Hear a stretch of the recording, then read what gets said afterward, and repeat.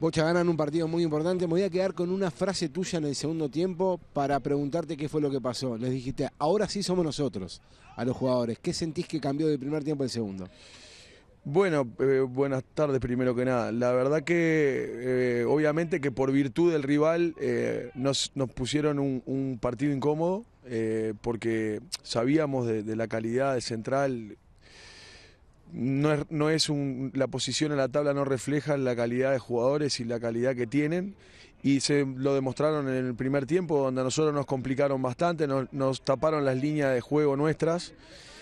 Eh, quisimos variar un poco el sistema para encontrar un poco más de presencia centralizada, es algo que veníamos haciendo en el preparación. Y bueno, ahí encontramos un poquito la variante, pero tuvimos que ajustar un poquito en el, en el vestuario, algunas cosas de que estábamos tomando alguna decisión errada, quizás apresurada. Y bueno, obviamente que, que los muchachos en el segundo tiempo seguramente entre ellos deben haber hablado al salir y cambiaron la imagen totalmente, ¿no? Les costó mucho llegar hasta arriba ahora son líderes y creo que también juega a favor de ustedes para lo que resta del campeonato. Quedan dos fechas para que termine la primera rueda, pero ahora hay que sostenerse. Ni que hablar. A ver, nosotros estamos en un, en un camino de, de, por más que parezca reiterativo, pero es el que nos pusimos este año, de ir paso a paso, partido a partido. Ya el año pasado nos tocó ir mucho rato primeros y al final nos quedamos en el final. Eh, entonces hoy nos vamos planteando partidos a partido, semana a semana y bueno, ahora viene un gran rival que Miramar, que, que de hecho nos ganó, en el, fue uno de los equipos que no pudo ganar.